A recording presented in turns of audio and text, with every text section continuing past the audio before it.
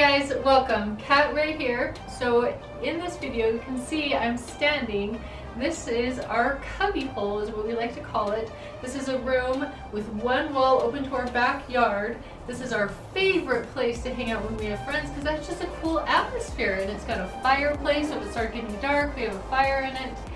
But honestly, these couches and some of this furniture is like 25 years old. So this thing needs just a whole new makeover. So what we're gonna be doing is we're removing this, we're bringing in a wicker patio set that we have been saving money up for a while. And so yeah, let's give our fun cubby hole a makeover.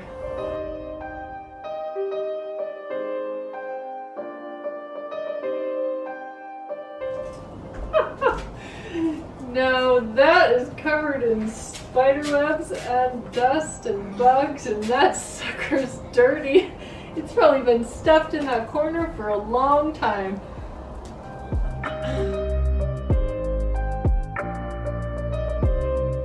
Okay, look, you can get it, you can see it's all cleared out here and that couch has not been moved for a long time and there's a lot of dirt back there and a lot of dust. So basically, next step is to get the leaf blower, clear this thing out, and then I'm gonna mop it. So let's clean this room. Okay, so for a job like this, definitely got the safety glasses and some earplugs.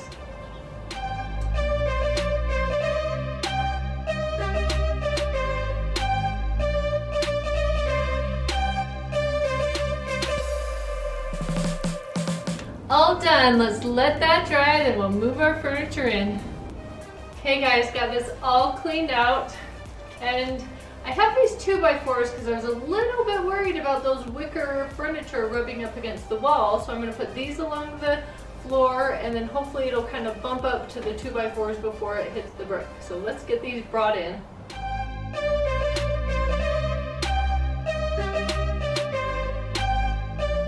Okay guys, this fits perfectly, just the way we want it. Now we have to take those little clips and clip the pieces together so it's just one solid piece of furniture.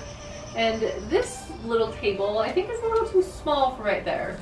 So we're gonna put the glass top, we're gonna put it right here so it's kind of just an end table. We're gonna bring that other table in because honestly, I really love that table that was here. And next step, lighting.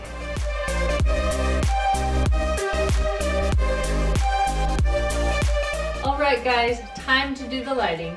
So we have all these pieces that we've actually had around for quite a while that we've been saving for this video. We have these Japanese lanterns that we used to have one hanging up there and I really loved it and I miss it. So we got two boxes of these and tell you the truth, these things are super cheap, but they have a really, really cool style to them. So that little lamp over there, we are replacing it with this much taller, very artsy one that we've had around the house for a long time, just trying to find somewhere to use it, so that'll be perfect. And then over here in the corner, you can see that smaller light. And tell you the truth, I made that in junior high, so I'm keeping that out here because I really like that I made that. So let's get this set up.